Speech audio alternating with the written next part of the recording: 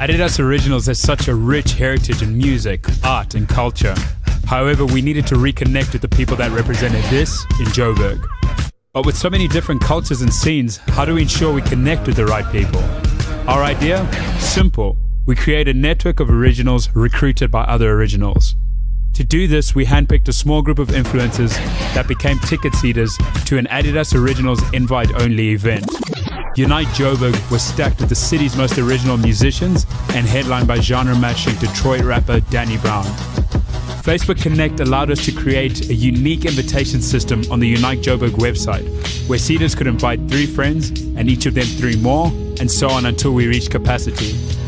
The website also showed real time ticket distribution, invitation connections, and the organic growth of our originals network across Joburg. Tickets were collected at various points throughout the city, and each person was given their own unique Adidas Originals NFC ID band.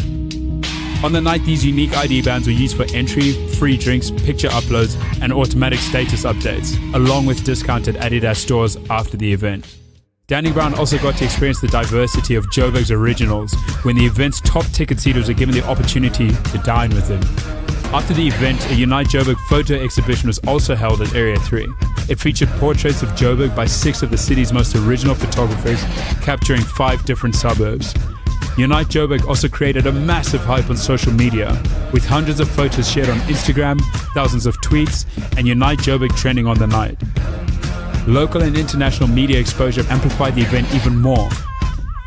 PR value reached over 2 million Rand and social media value over 11 million Rand. So, by letting originals invite originals, Unite Joburg helped Adidas create a credible network of influencers, the perfect platform to start future conversations and celebrate originality.